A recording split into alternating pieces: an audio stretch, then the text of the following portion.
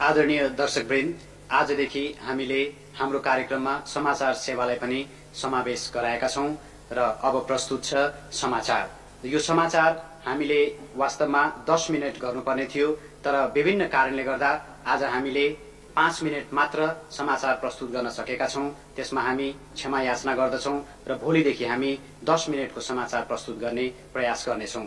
र यो समाचारमा आज हामीले समाचारपछि त्यो समाचारसँग सम्बन्धित नक्सा पनि दिनु पर्थ्यो तर विभिन्न कारणवश आज हामीले त्यो पनि गर्न सकेनौँ र त्यसका लागि पनि हामी क्षमा याचना गर्दछौँ। तर आज हाम्रो यो सुरुवात भएको हुनाले यहाँहरूले हामीलाई क्षमा दिनुहोला भन्ने विश्वास छ। अब प्रस्तुत छ समाचार। नमस्कार। अब हामी छोटकरीमा आजका प्रमुख राष्ट्रिय तथा अन्तर्राष्ट्रिय समाचार प्रस्तुत गर्दैछौ श्रीपास महाराजाधिराज वीरेन्द्र वीर विक्रम शाहले आज चालिस वर्ष पूरा गरेपछि एकचालिस वर्षमा प्रवेश गरेबक्स्यो यस शुभ उपलक्ष्यमा आज अधिराज्यभरि हर्षोल्लासको वातावरणमा विभिन्न कार्यक्रमको आयोजना गरी मौसुम सरकारको दीर्घायु सुस्वास्थ्य र सुख समृद्धिको हार्दिक कामना गरियो। हेटौडामा आज आयोजित एक विशेष एवं भव्य समारोहमा श्रीपास महाराजा धिराज सरकारबाट मौसुम सरकारको चुनावमा चढाइएको हार्दिक अभिनन्दन ग्रहण गरिबक्स्यो राजधानीमा आज एक भव्य जुलुसले शहर परिक्रमा गरी टुडीखेल स्थित शाही नेपाली सैनिक मञ्चमा आम सभामा परिणत भयो। आम सभामा श्रीपास महाराजा धिराज सरकारको तस्विरमा फूलका गुच्छाहरू चढाएर मौसुम सरकारको दीर्घायु र सुस्वास्थ्यको कामना गरियो।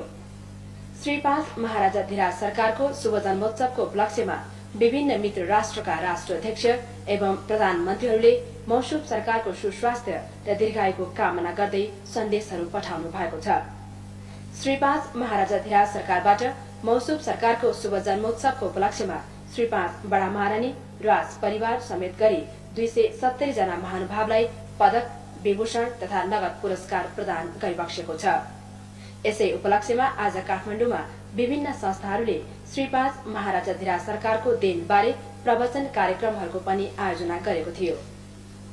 संयुक्त राज्य अमेरिकाले लस वेगस शहरमा जमिन मुनि हाइड्रोजन बम परीक्षण गरेको छ।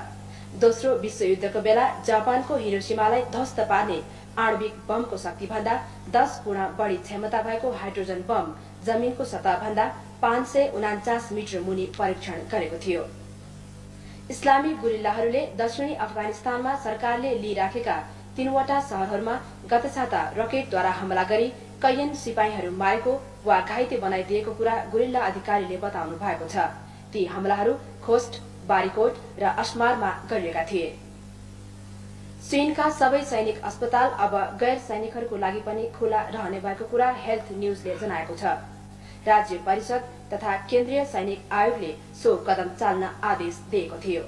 सैनिक रेगनले रोम र भियना विमानस्थलहरूमा भएको आक्रमणपछि इजरायल र मध्य पूर्वका सरकारहरूलाई पत्रहरू पठाई शान्ति प्रक्रिया जारी राख्नको लागि आवश्यक संयम अप्नाउन आह्वान गर्नुभएको कुरा व्हाइट हाउसका प्रवक्ता लारी स्पिकर्सले बताउनु भएको छ। श्री रेगन हाल लस एन्जलसमा विदा मनाउँदै हुनुहुन्छ। मोहम्मद खाँ जुनेजोले पाकिस्तानले अफगानिस्तानको बाबरा करमालको सरकारसित प्रत्यक्ष वार्ता गर्ने छैन भनी बताउनु भएको छ। हिजो संसदमा विदेश नीतिबारे भएको छलफलको अन्त्यमा बोल्नुहुँदै उहाँले